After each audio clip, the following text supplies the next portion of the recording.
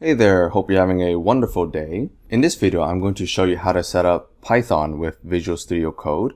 So most people like to use PyCharm when they're writing Python code or Anaconda with Spyder. I prefer Visual Studio Code. I think it's much easier to use and it's more convenient if you're working with other languages as well. So first we want to install Python. So what I'm going to do first is go to terminal or command prompt and check which version I have. So to do that, I'll just type python dash dash version. And you can see I am on 3.8.3. Uh, with Python commands, you can also just type py instead of Python. It saves you four characters. So py dash dash version, and we get the same thing. If you do not have Python on your machine, for instance, if I type Python like this, you might get something like this, where it says Python is not recognized as an internal or external command. So this just means that you don't have Python on your machine. So let's install that. So go to python.org, go to downloads and click this right here. For me, it says download for Windows because I'm using Windows. But for you, if you're using a Mac or a Linux, then it will say download for Mac or Linux. So click that. Okay, so now we have it downloaded. So click it to install it and then just click install now. So after you have it installed, go to code.visualstudio.com make sure it's the blue one. It says Visual Studio Code, not the purple one, the blue one. So for you, it might say down for Mac or Linux. For me, it says down for Windows. So just click this button, whatever it says. And then now we can open it and you'll get this pop up. Just accept the agreement. Next. Uh, you want to click create a desktop icon and then click next and then click install. I already have it installed, so I'm not going to click it, but just click install. And then afterwards, you should see Visual Studio Code on your desktop. You can double click it or you can drag it to your taskbar if you uh, are going to code frequently. So just click that and you'll see we have uh, this uh, setup. We're going to create file and click Control S to save it. So I'm going to save it to my desktop. Let's name it test.python. So make sure you include the extension. For Python, it's py or py. So let's save that.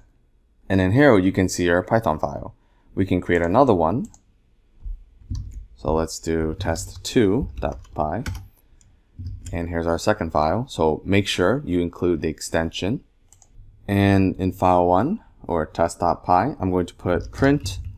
This is file one and print, let's say 50. So this is just outputting to the console or terminal. And then for the other one, I'm going to say print file two and let's print 100. Okay, so you can see both of them are created on our desktop. We go on terminal and we type in python or py and we go to the directory of our file. So desktop slash uh, test.py and you see this is file 1, 50 and I can do test 2 and this is file 2, 100 or you can just change directory to desktop and type py test.py or python test.py. Either one works. And we can do test2 as well. So this is how you would run your uh, Python files.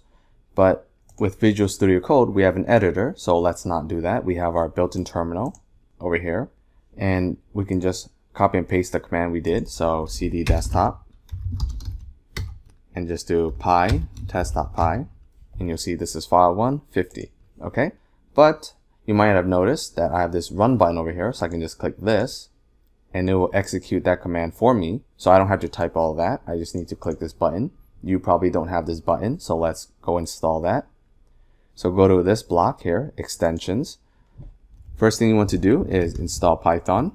So search for Python and look for the one by Microsoft and click install. And then afterwards look for code runner. It's the one with this logo. Just click install and then after you install this, you should have this run button over here. And then now you can just click run code. Uh, when you run your code, it might not output to the terminal. It might output to the Visual Studio uh, built-in console, the output console. And the problem with this is this is a read-only console. That means if you were to ask the user for an input, you can't type anything in. You can't type in any commands. We want it, we want to set it to the terminal. So to change it to the terminal, go to this gear icon, click this icon and click settings. And then scroll down until you see right here, code actions on save. Click edit in settings.json. And then what you want to do is you want to add this line. I will copy and paste this into the description. So code dash runner dot run in terminal, set it to true. And then afterwards, when you hit the run button, it should go to the terminal. Okay.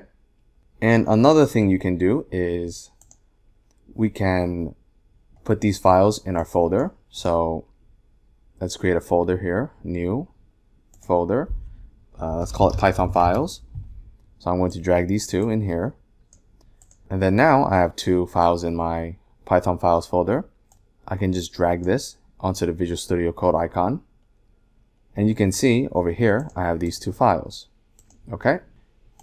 And if you don't want to do that, if you have it somewhere else that is not on your desktop and you don't want to go through your directories to find it, you can just use the terminal and just go cd. So I'm already in the desktop, but if you're not in the desktop, just go cd desktop and then cd stands for change directory. So cd to your folder. So in my case, it's Python files and just type in code dot. And then this will open up Visual Studio Code. Okay, so that's how you set up Python with Visual Studio Code. If you enjoyed this video and it worked for you, make sure to leave a like and subscribe for more updates on uh, Python tutorial videos and all that fun stuff.